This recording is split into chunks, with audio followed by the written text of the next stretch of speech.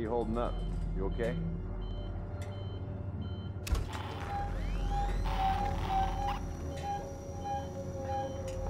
Maybe he's found a better site to raid. Or a way off this fuck heap.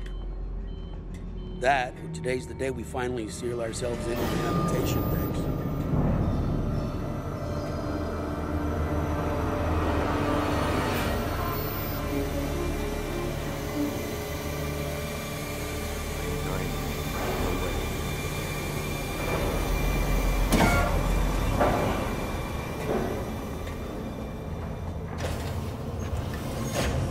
Car for Solomon's Habitation Tower.